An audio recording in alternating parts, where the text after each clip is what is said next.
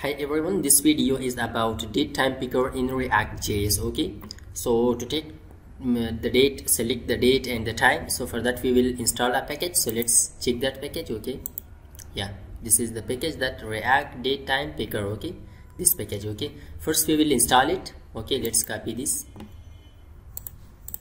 Yeah, let's install it. Okay. Yeah, it will be installed now yes the package is installing. It will be installed now, right now. Yes the package has installed so now let's use it okay? Let's come to our datepicker.js file. This file is imported in uh, we will import that in app.js let's import it manually datepicker from datepicker okay? So now let's use it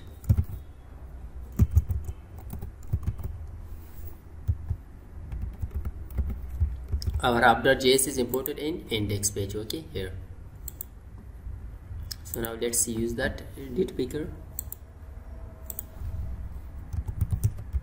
React functional component export here we will um, import our date picker okay so let's come to the here. So but just simply come here. We can import it okay using this statement. And after that to use it can simply just write this statement okay? Something like this. So after writing this so to store the values of this okay whenever we change the value of date so we should store that. So for that we will create a variable const uh, value set value.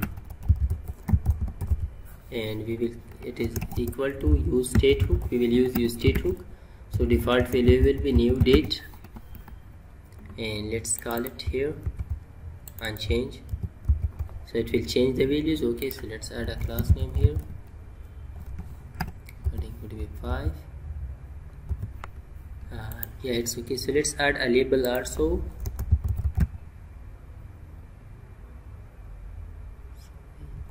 Leave it label now right now. So let's start our server npm start so it will start the server.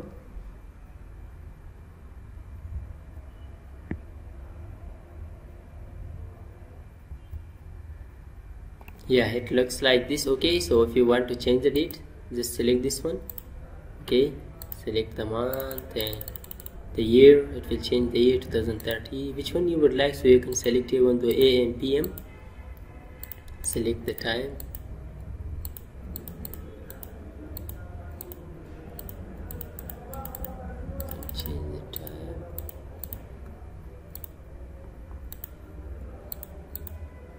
yeah just try it here whatever you like okay?